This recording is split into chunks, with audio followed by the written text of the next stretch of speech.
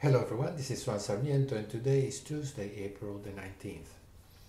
Um, as you can see, I had filled three positions here, two sells and one order to fill a new position on Nike.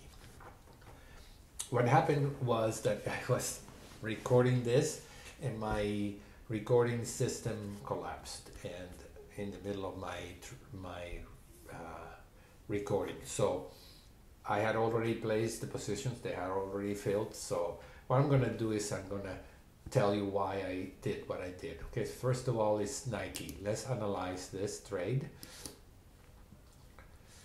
And uh, this is what it looks like. Let's hide the position here and just show the simulation as it got filled.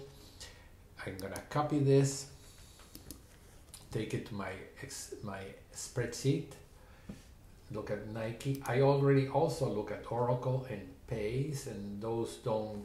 Uh, Pace is not liquid enough. Oracle is not helping me much.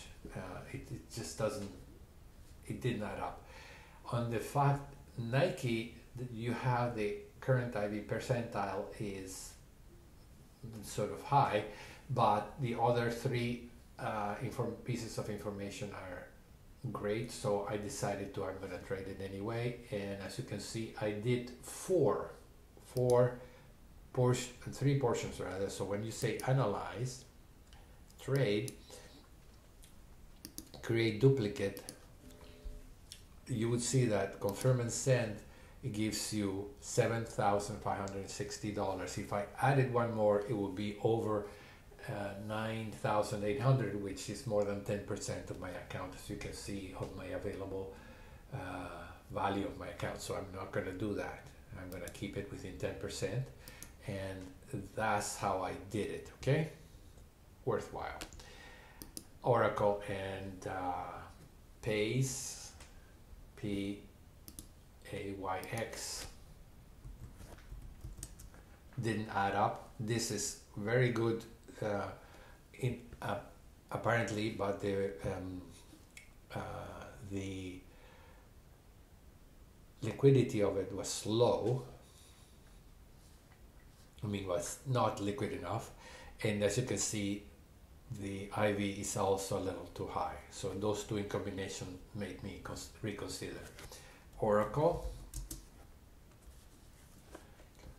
it's also looking good. It's breaking through, in particularly if you see it breaking through to um, the top of the Ichimoku cloud, that would be good, and you could consider reconsider it.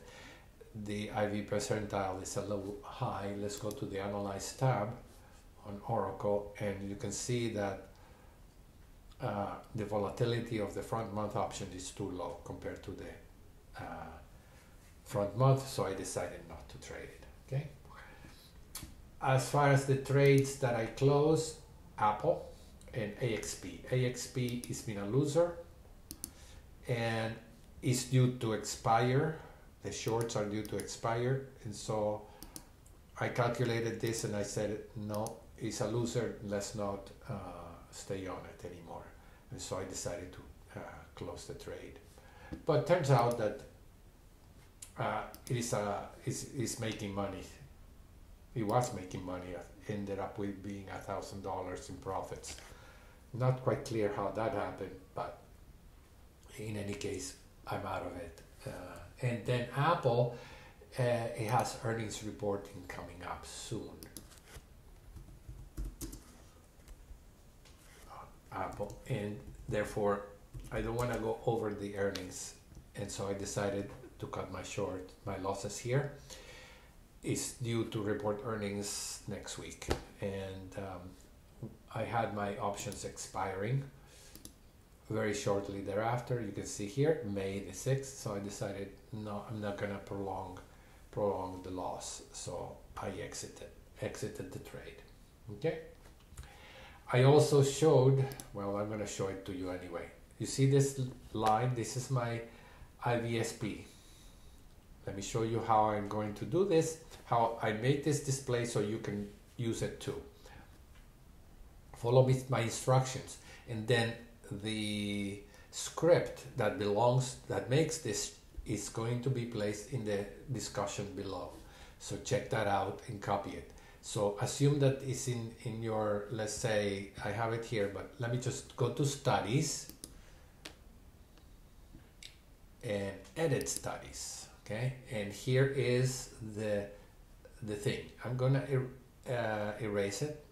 No, let's, let's look at it first. I double click on it. No, what I want to do is display it here.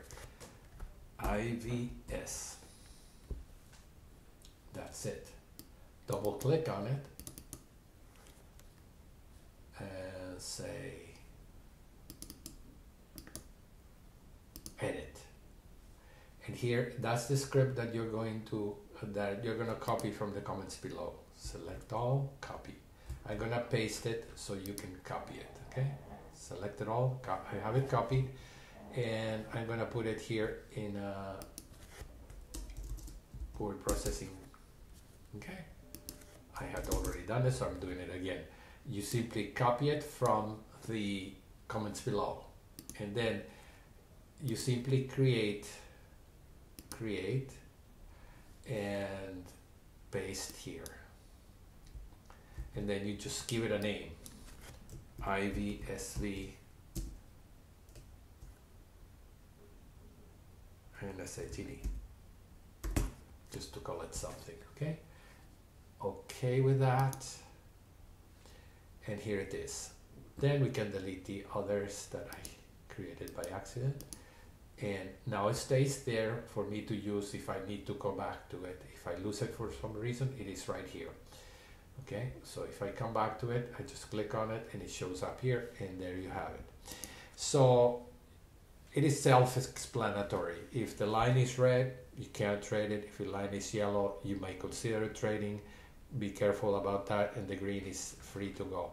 And that's a comparison between the historical and implied volatility is what it is. Okay and it tells you uh, when the historical volatility is still too high compared to the implied volatility, or too low rather, we want the historical volatility to be greater than the implied volatility. And this is using the historical volatility, which is SV, or statistical volatility, uh, is 52 days. So it looks 252 days back and say, okay, we have a range for the implied volatility. Okay, so that's how it's calculated. And you use it to figure out, okay, this volatility is a little high here, and it's yellow. So we want it green, and then when it's green, you can trade it. All right, you can use that in your own charts. All right, that's all for today. Thank you very much for joining me, and see you next time. Bye bye.